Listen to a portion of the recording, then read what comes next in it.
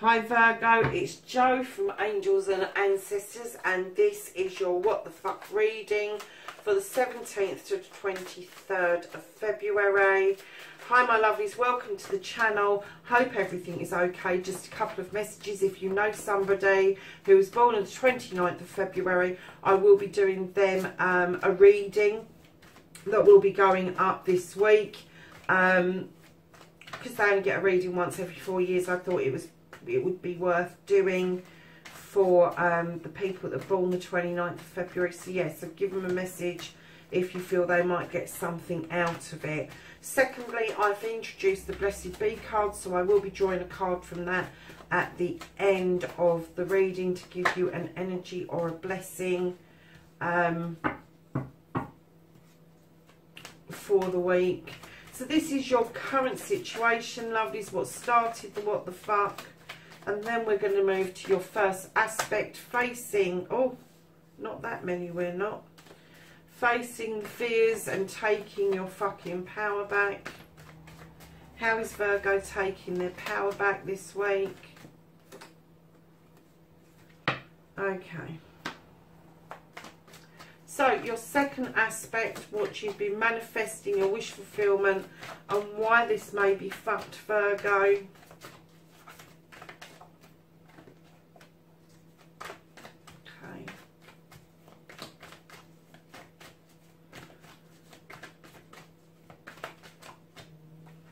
This is your journey, your movement, and where the fuck you need to be. What the fuck you can do about the situation. Yes, we know there's hundreds of solutions, but we're not taking all of them. One solution would be good for Virgo, please. Can I have what Virgo can do about the situation?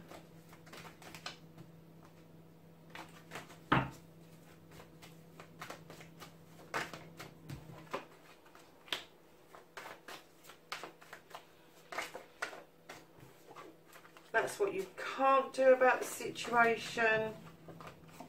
Cracky, they're flying out. They're reconnecting to the true you. And can I have an outcome? What the fuck is happening next? Okay, lovelies.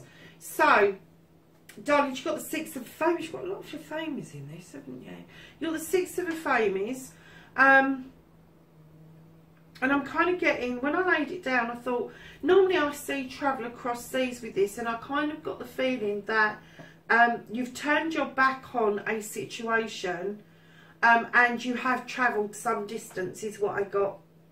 So this may be a situation from your past, because I get the feeling you have travelled some distance away from this situation. So, facing your fears and taking your fucking power back, darlings you feel like you come back from battle triumphantly, but you are looking, although you've turned your back, you're looking over your shoulder. And it could be that you really know what happened, you know um, how things unfolded, but you are kind of looking back. One, to make sure that you don't do that kind of thing again, or you don't allow that energy to enter your sphere again. But I kind of get the feeling that you are missing this Ten of Cups. You are missing the completion and you are missing the begin beginning of this. So I kind of get that although you really want to stand in your flower, the flower power and feel triumphant, right now I'm getting that there is some looking back. I'm not going to say regret. I'm going to say looking back at lessons that you have been taught and that you are really currently missing this Ten of Cups big time. Now this 10 does commute into a beginning because it is a completion which means there has to be a restart of some description but I'm kind of getting the feeling that on the face of things that you feel quite triumphant but underneath um, it's killing you. It's, it's you have got such sad feelings about whatever it was that you turned your back on, whatever you've drifted away from, you're travelling away from that situation. I kind of get that although you, you felt triumphant, um, this wasn't a situation that you instigated, that this was um, somebody else's decision um, to move away from, but you've travelled away from it. And I'm not even going to say it was willingly because that's why you're looking over your shoulder because you're trying, although you understand what happened, you're still trying to grasp those lessons from this situation.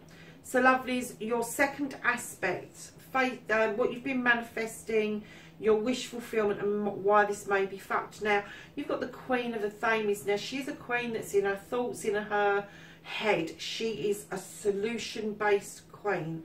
She will think about things.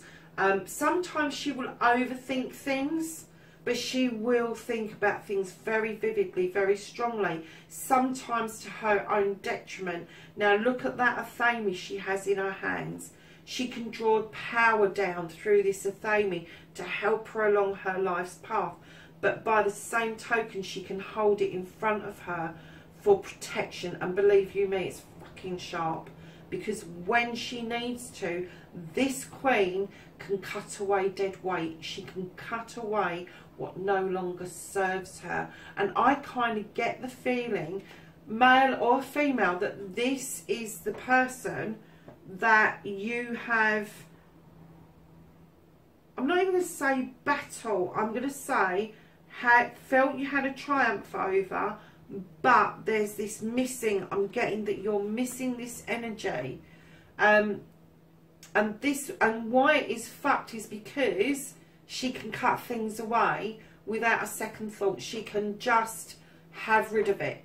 She doesn't have to get into the whys and the wherefores of things. She does get lost in her thoughts and she will be arguing in her head about the the positives and the negatives of the situation for years to come, I have to say. But she is she just moves on. She just for all the world to see, she has protected herself and she has cut away what, what no longer serves her in her life. Now, this could be yourself, it could be an aspect of yourself, it could be a family member, it could be a friend, it could be a colleague. So don't lose sight of that, that this energy does not have to be another person. It could be that you've got air sign in your chart. It could be that you've got a strong air sign personality around you that even if it's not their star sign it could be their rising sign or their moon sign so just keep that in mind and again I normally draw on energies rather than sexuality however in this case I really do get a strong strong feeling that this is female this is a female energy that you are dealing with and you are really missing you are really missing this. They have shared an awful lot with you. This wasn't a love compatibility. This was a sharing of equal thoughts and feelings across many years. And I get that it's many years since you've had that input from somebody. Nobody has ever come up and matched that input from this person. So lovelies, your journey, your movement, where the fuck you need to be. You have got a water sign. You've got the King of Cups. Now this King, male or female, I'm going to say because I don't know what energy this is at the moment. This also can be their star sign, their moon sign, their rising star sign. But this cup, this King does not offer his feelings on a plate. He does not tell you how he thinks or he feels and it may be that you've taken on this energy. It could be in your chart but I get the feeling you may have taken on this energy that you've had to stand in a masculine power in order to survive. If you're a woman um, and if you're a man I kind of get the feeling you've held back your feelings in order for you to feel safe um, in your journey. But where you need to be is you you do need to start addressing why you're feeling like this why you why you have the need to hold back how you're feeling. Or even worse still I've just got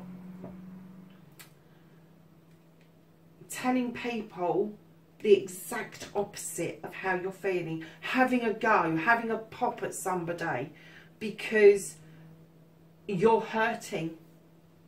Because you're hurting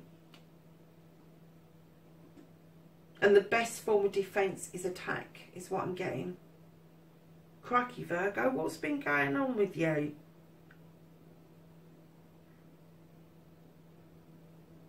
Something's reared its head that you've suddenly got very, very fucking, your back's up. You, you got protective, but it's making you think about this connection. Something recently has happened that you've kind of gone, what the fuck? I thought I'd dealt with that. I thought I'd sorted that. I thought I'd cut that waste. It's no longer serving me.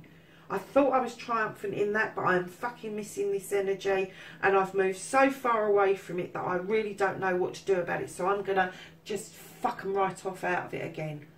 Really? So where you need to be is be a little bit more honest with your feelings instead of being reserved or blaming somebody else. Get and you don't have to be honest with anybody else, lovelies. You do not have to spill your guts or your beans to anybody. You have to do it to you. You have to offer that cup back to yourself. How can you offer a cup of love out or a cup of happiness or a cup of joy out if you've never experienced that yourself? Um, it's going to be an empty cup. You've got to fill your own cups up first before you can start offering that out to other people. Now, what you can do about the situation, you've got the High Priestess. This High Priestess knows her stuff. She draws energy from the moon. She knows how to cast spells. She knows to use those standing stones for protection. And what she's telling you is, is you are massively protected by the universe. There is no reason why you can't put this issue out into the universe and ask the universe to be dealing with this for you on your behalf. Whichever way it pans out, whichever way it sorts itself out, if you ask the universe for assistance around this situation, it will wholeheartedly give it to you. Do not stand on your own in this feeling. You need to start being honest with you and ask the universe, the moon, whatever it is that you believe in, for this assistance to move this situation forward. Because what you can't change, love, is, is how you're fucking feeling. And this is your true feeling. This is your true feeling at the moment. You feel in despair. You feel sad. You feel fucked off, to be honest with you. This is the nine of Athames This is this is a, I'm, no, usually nines are set, I, oh, I wish fulfillments. This is self-fulfilling prophecy. This is you. You've put the blanket up around your face. You don't want to look at the moon. You don't want to look at the truth. You don't want to look at your inner self. So until you're ready to do that, you can't change this and, and you're going to stay in this state of woe is me. Look what's happened to me. And right now, you're not doing that because you haven't been honest with you. It's nothing to do with you opening up and being honest and offering that cup to anybody else. It is everything to offering that cup to yourself, filling that cup up for you in order to be asking the universe to come in and help you get out of this fucking situation you've got yourself in. For some unknown reason, this has reared its head and you are tied up in fucking knots. But let me tell you, the reconnection to the true you is to understand that this was a life's lesson. This was a life's lesson about loss and about gain. This was a life's lesson about moving or not moving. This was a life's lesson about um, love or deceit. It's a lesson about um, knowing who your true friends are. This is about the pupil becoming the teacher and the teacher becoming the pupil. This is about life's lessons. You've still got those standing stones for protection. You've still got the waters for healing. But it's about life's lesson. And I'm kind of getting that life's lessons have hit you hard. And you really are not in the fucking mood for dealing with this. But it's reared its head. You are in a Mercury retrograde. Everything is going to come up and hit you from the past really fucking hard. Really hard. And I'm kind of getting that the nice lesson that you need to be. You need to be this Queen of Cups. You've got the King Cups. You've got the Queen of Cups. She's slightly different energy. She's not as closed off as he is about his thoughts and feelings. She is more open. She holds the cup on her lap. She is willing to help somebody fill that cup up. She's got the seas lapping around her feet in healing properties. She is wholeheartedly looking at that ocean. She knows it's going to take that amount of water to get this healing sorted out for you. But you should be sitting there like this queen. And Virgo, I know that you are an earth sign and this is a water sign. But you do need to step in the waters to allow that healing to happen. You do need to get this cup, your cup, filled up not just by yourself but with somebody else, somebody who understands and I'm not going to get that this is a male or female energy. I get this is an energy within you. You have the answer within you. You have the ability to do this healing. You have this ability, Virgo, to be able to do this for yourself. You just need the courage, the conviction, um, and the confidence that you can do this. And you've got this within you, Virgo. You have you have and I'm sorry that this has reared its head for you my darlings because this this was a painful issue for you it was a painful part of your life um, that's reared its head and I'm not even going to say that you're there is some element of regret but I'm not going to say that it's fully with regret because I think there was so much going on around you at the time that you really could not say that you was actually losing this. Um, I think you kind of felt I think you kind of felt that it was much less than that. You didn't realise the riches that you was losing. I'm not talking about finances. I'm talking about the support, the emotion, um, the joy that this connection, whatever it was, um, brought to your life and how it enriched your life. So lovelies at the bottom, yeah, okay, I get that. So at the bottom of the deck, lovelies, you have got the Lord of Shadows. Now the Lord of Shadows tells us that somebody is lurking in the shadows. They're peering out at other people's lives. And I'm kind of getting that you really want to emerge from this shadow. You want to let your light shine, but you're not quite sure how to do that. So instead of taking that first step out, you are still hiding behind that tree. Virgos, you don't need to do that. Lovelies, you're an earth sign. You stand in your power. Just take that first step. Make that first move. It doesn't make you a lesser person. It just means that you have got the confidence, you have got the courage, and you have got the conviction and the confidence to be able to do this, to start this healing process in motion. And this is a healing process that comes with a lot of life's lessons, lovely. I kind of get the feeling, Virgo, that you've probably been through more than your fair share of things.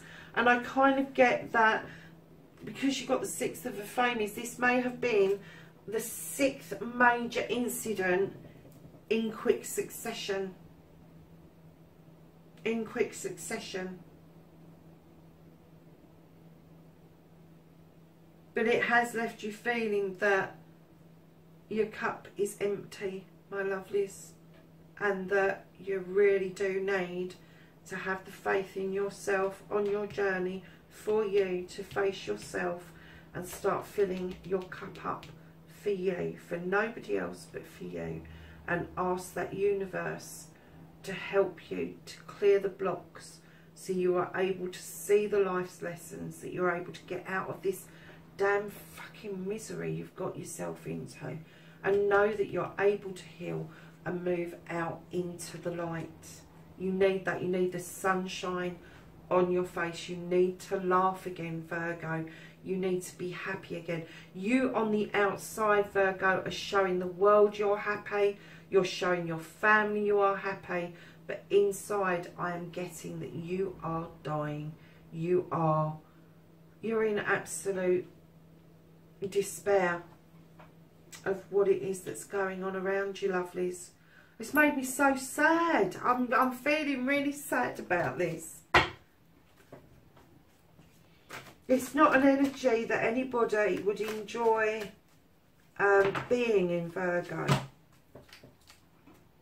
So, my lovelies, your blessed B card for this week is a blessing for good men and fathers.